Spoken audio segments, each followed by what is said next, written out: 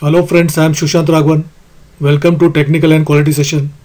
For understanding the technical requirements and quality standards in clothing industry, making a sustainable garment, I have good practical experience in the apparel manufacturing sector. My skills are CAD pattern making, sample development, technical requirements, and measuring quality performance. Today's session is about statistical data analysis in apparel industry. For more sessions like this, do like and subscribe to my channel.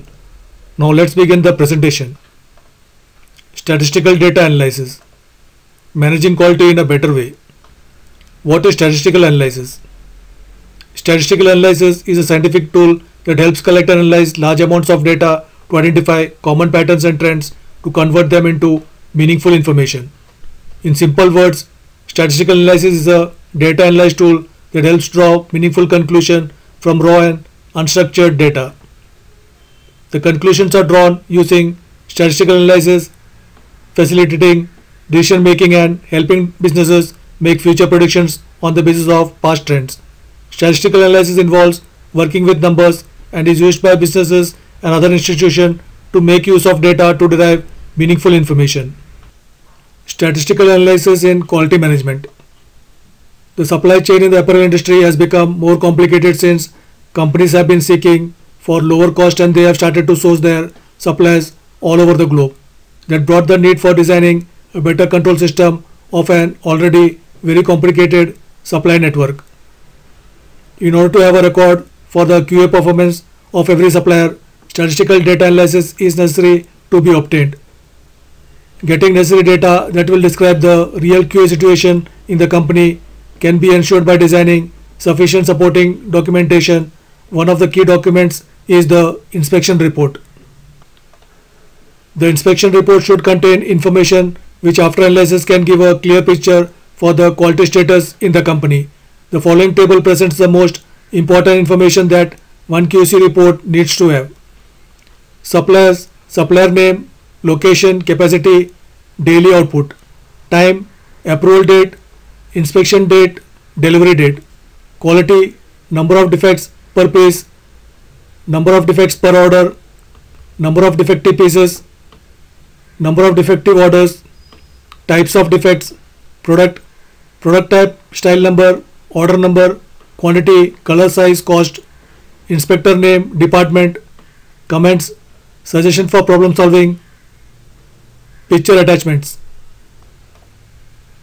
The information from the QC report can be digitalized and incorporated into the ERP system of the company. Digital version of the QC report should be able to satisfy the needs for providing the necessary information and making the work process easier. The following picture illustrates an IT solution as QA support in the company. QA IT support, software solution, statistical report. The statistical analysis report can present the supply performance in terms of quality during the last 6 months or 1 year. That will help the QA manager to have visual image about suppliers who have had bad performance during the last period. To know the biggest quality problems or the most problematic product types, Pareto analysis can be done based on data collected from quality inspection reports.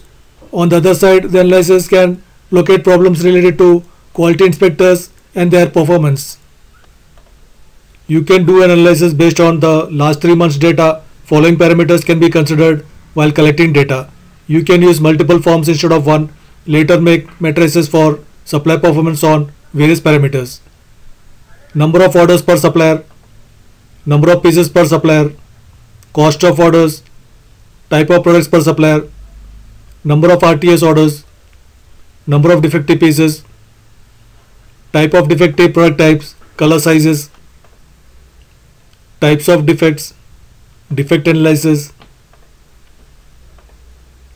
number of defects per piece, number of defects per order, supplier name responsible for low quality, inspected orders per QC inspector, inspected quantity per QC inspector, travel distance to supplier per QC inspector, type of products per QC inspector.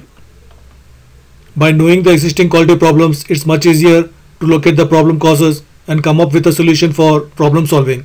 Every company has several key performance indicators to judge overall performance, and statistical data analysis is the primary strategy for finding those accurate metrics for internal or team metrics. You will want to measure data like associated deals and revenue, hours worked, trainings completed, and other meaningful numerical values. It is easy to collect this data, but to make meaning of it, you will want to statistically analyze the data to assess the performance of individuals, teams, and the company. Statistically analyzing your team is important not only because it helps you to hold them accountable, but also because it ensures their performance is measured by unbiased numerical standards rather than opinions.